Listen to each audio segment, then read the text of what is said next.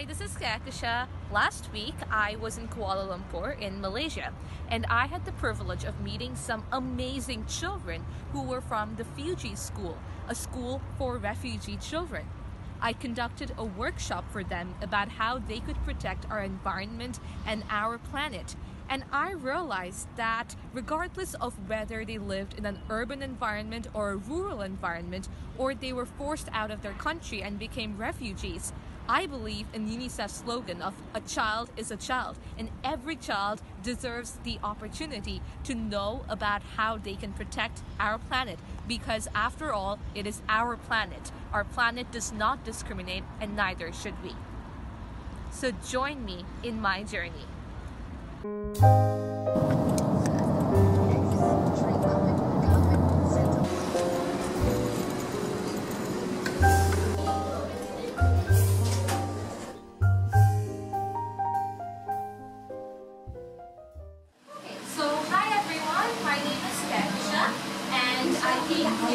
Today just to speak to you about how you guys can help to save our planet.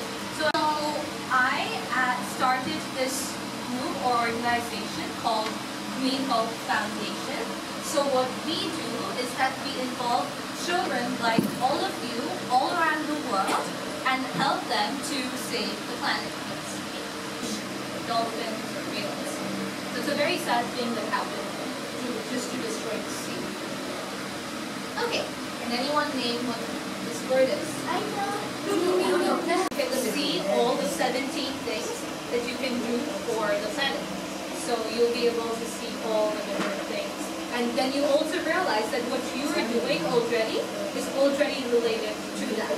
So yes, the carbon dioxide that comes out it makes the world hotter and hotter. And most of the time, it's because we um, human beings are doing it. So yes, that is global warming. Our planet is becoming way, way, way too hot.